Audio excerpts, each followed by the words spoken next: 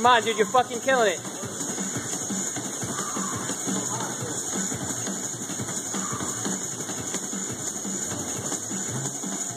You're at the fucking end, dude. You're at the end.